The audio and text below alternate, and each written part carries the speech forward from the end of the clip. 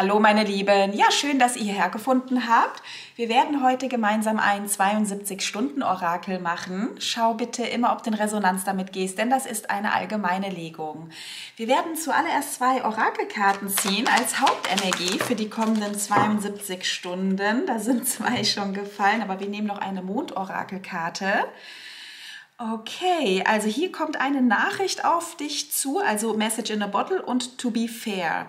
Ne, hier geht es ähm, auch wirklich um Gerechtigkeit, ähm, vielleicht sogar auch um ähm, ja, eine karmische Zusammenführung. Ähm, genau, auf jeden Fall wird hier etwas in das Gleichgewicht zurückgebracht und das hat hier etwas mit einer Nachricht zu tun, die dich hier erreichen wird. Lass uns noch ein Mondorakel nehmen, bevor wir dann mit den Tarotkarten weitermachen. Da haben wir, arbeite dich durch deine Ängste.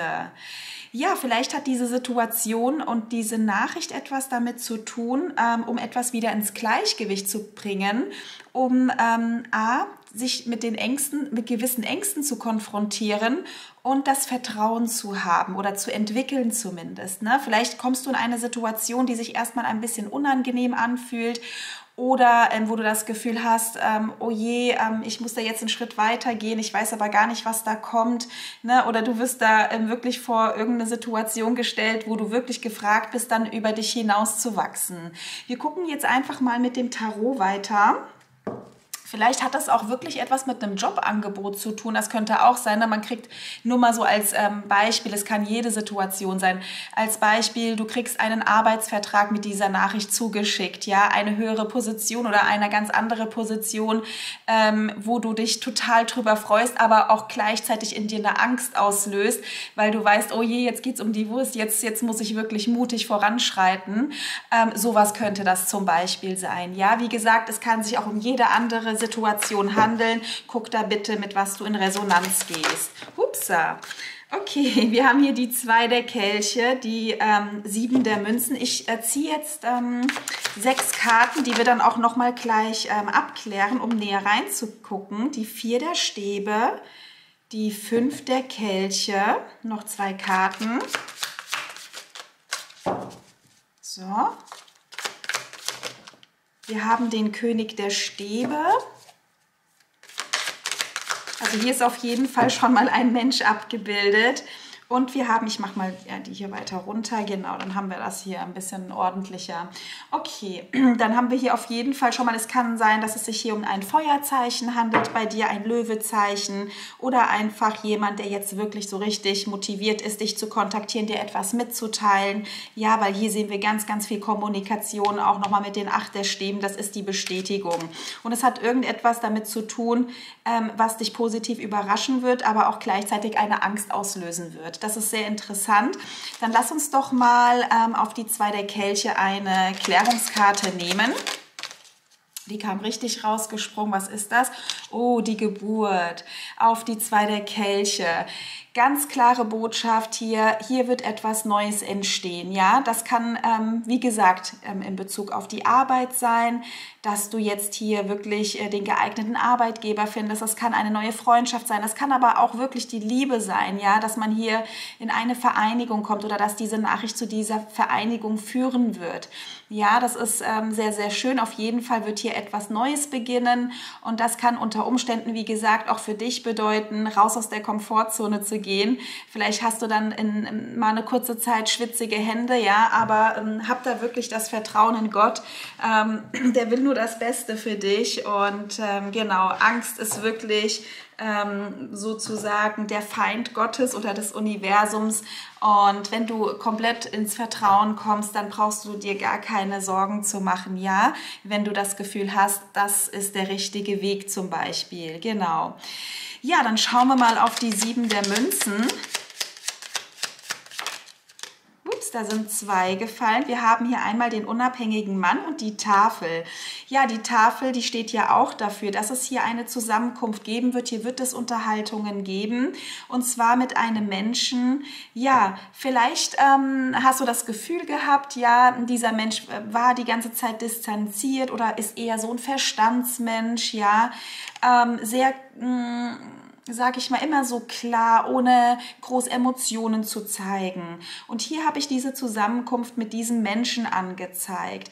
Vielleicht ist es auch so, dass ähm, diese Nachricht, wenn diese Nachricht auf dich zukommt von diesem Menschen, ähm, du diese erstmal gar nicht so wirklich einschätzen kannst. Ja, und das kann vielleicht auch in dir Angst auslösen, weil du diesen Menschen eben schon von einer gewissen Art und Weise her kennengelernt hast und da vielleicht auch ein bisschen misstrauisch bist. Das könnte durchaus sein, dass, dass hier diese Angst deshalb hier auch liegt. Ja, ähm, genau. Aber irgendetwas wird hier ins Gleichgewicht kommen. Ähm, vielleicht hat dieser Mensch ähm, auch irgendwie ein Signal bekommen oder eine Vision bekommen, ein Zeichen bekommen, dass hier irgendetwas auch in, in die Harmonie zurückkehren soll. Ja, also es hat hier etwas damit, wie gesagt, mit Balance zu tun. Irgendetwas wird hier in die Balance zurückge also zurückgebracht. Genau. Ähm, lass uns mal auf die vier der Stäbe schauen. Das Wunscherfüllungsei, das ist ja eine richtig coole Legung bis jetzt. Ähm, also wir haben hier Wunscherfüllungsenergie ähm, und aber zusätzlich eben im Vertrau Vertrauen bleiben, ja. Ähm, also hier, wir haben ja das Wunsch, äh, die Wunscherfüllungsenergie auf die vier der Stäbe. Die steht ja auch für eine Vereinigung, ja. Dass man hier wirklich mit jemandem in eine Vereinigung kommt, mit dem man sich ein einfach unheimlich ähm, stark verbunden fühlt, wo man das Gefühl hat, man kennt sich ewig, man gehört doch irgendwie zusammen, ja, und man findet hier zusammen. Und ähm, genau, hier ist es wirklich wichtig, hab das Vertrauen und achte auch auf deine Gedanken, denn hier ähm, liegt bereits schon diese Wunscherfüllung ähm, auf diese Situation. Ja, das ist ähm, sehr wichtig und da könnte wirklich nochmal die Botschaft sein, wenn du merkst, die Angst, die dominiert dich in irgendeiner Art und Weise. Mh, dann such das Gespräch zu Gott oder zum Universum und hab wirklich Vertrauen, dass für dich ähm, der, der richtige Weg sozusagen schon da ist, ja, sodass die Ängste nicht einen dominieren. Ähm, genau, aber hier sieht man wirklich, ähm, dass sich hier etwas in eine ganz tolle Richtung ähm, in Bezug auf Verbindung ähm, oder aber vielleicht auch ein Arbeitsvertrag kann ja auch sein, ja, hier ergeben wird. Vielleicht auch ein neuer Wohnungsvertrag. Wie gesagt, guck da wirklich, in welcher Situation du damit in Resonanz gehst. Ähm, wir haben hier die fünf der Kelche. Lass mich die mal abklären. Da haben wir die liebevolle Frau. Okay, ähm, vielleicht neigst du manchmal dazu, ähm, sag ich mal, ähm, das Glas eher halb leer anstatt halb voll zu sehen, ja. Ähm, man sieht hier auf jeden Fall, dass du eine sehr feinfühlige, empathische Person bist. Ähm, manchmal, vielleicht ähm, liegt dir das oder steht dir das manchmal im Weg, dass du ähm, manchmal diese Leichtigkeit eines Kindes nicht mehr so ähm, im Leben spürst und manchmal eben auch eher so, ähm, ja, das Glas, wie gesagt, halb leer anstatt halb voll siehst. Und das ist hier auch nochmal ähm, die, die Botschaft an dich, ja, dass du ähm, stolz, da, erstmal stolz darauf sein kannst, dass du sehr feinfühlig bist, sehr empathisch bist, weil dadurch kannst du so vielen Menschen auch helfen. Aber ähm, sei auch wirklich ähm, sehr wohlwollend mit dir selbst, weil gerade die feinfühligen und empathischen Menschen, die saugen natürlich auch ähm, viele Energien von außen auf, mehr vielleicht noch als, ne, wie gesagt, Menschen, die nicht so feinfühlig sind. Und da muss man wirklich äh, gucken, dass man sich auch ähm, da sozusagen gut erdet, dass diese Fremdenergien nicht so in dein System kommen. Und ähm, weil es kann zum Beispiel auch sein, dass du ähm, mit Menschen in einem Raum bist und die sind eher pessimistisch eingestellt und du dein Energiefeld saugt das dann eher auf und dadurch könnte es auch sein, dass du das dann eher halb leer siehst sozusagen, ja. Und da ist nochmal die Botschaft für dich, versuche wirklich ähm, dich da zu erden, wenn du das Gefühl hast, okay, du saugst wirklich schnell Energien auf, das tut wieder Ängste in dir entfachen, unbewusst, ja, was dann wiederum vielleicht auch kontraproduktiv sein könnte, um wirklich deine Wunscherfüllung ähm, auch wirklich in die Erfüllung langfristig kommen zu lassen, weil hier habe ich das wirklich angezeigt, dass hier einfach etwas Neues für dich entstehen soll. Ja, du wirst eine Nachricht, eine Zusammenkunft hier haben. Und ähm, genau, vielleicht soll dir das auch etwas aufzeigen, ja, weil hier etwas, wie gesagt, ins Gleichgewicht kommen soll in den kommenden 72 Stunden. Genau. Lass uns mal auf den König der Stäbe schauen. Da haben wir den Engel des Sanftmutes. Hier haben wir die Herzöffnung. Das ist sehr interessant, weil ähm, genau, wir haben ja hier den unabhängigen Mann, ne? Und ähm, ich nehme ja die beiden ja auch als einen Menschen wahr. Und ähm, vielleicht bist du deshalb auch erstmal misstrauisch, wenn etwas auf dich zukommt, weil ähm, dieser Mensch, vielleicht kennst du ihn eher distanziert, wie gesagt, eher verstandesgemäß, ja, wenig Emotionen. Ähm, aber ähm, dann hier haben wir die sozusagen die Herzöffnung bei, bei dem König der Stäbe.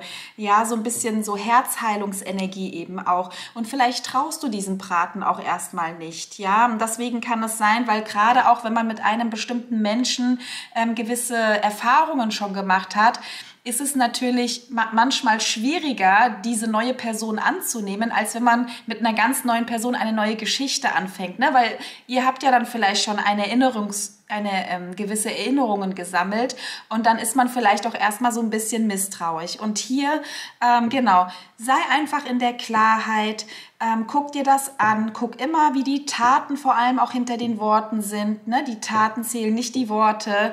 Ähm, genau, nicht nur die Worte zumindest. Die Taten, ähm, die sprechen auf jeden Fall immer für sich, ja. vor allem auch beständige Taten, nicht nur am Anfang, genau. Ähm, ja, aber hier habe ich jemanden einfach, der ähm, herzoffener ist, ja, der eben dir zugewandter ist und ja, mit, mit mehr Emotionen aber positiv gesehen ähm, auf dich zukommen möchte und die, wie gesagt, ähm, mit dir etwas Neues beginnen möchte, ja? Ähm, genau. Lass uns mal auf die Acht der Stäbe schauen. da haben wir die Schöpferhand.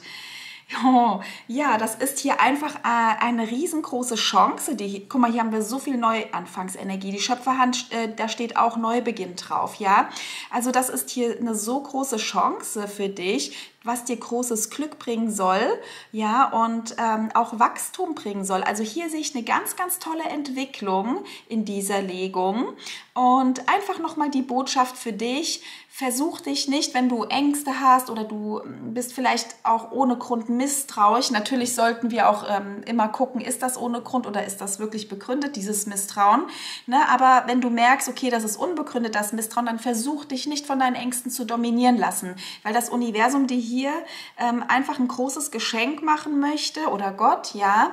Und ähm, das soll hier einfach auch in eine super Entwicklung, Wachstum ist hier angezeigt, ja soll sich das hier entwickeln in dieser Legung. Also, ähm, genau, wenn du diese Legung siehst und damit in Resonanz gehst, dann mach dich hier auf eine Nachricht äh, gefasst sozusagen und es hat irgendetwas damit zu tun, dass hier wieder etwas ähm, ja, in den äh, Gleichklang kommt, ja. Mm und hat etwas mit einer Vereinigung bzw. einem Neubeginn zu tun.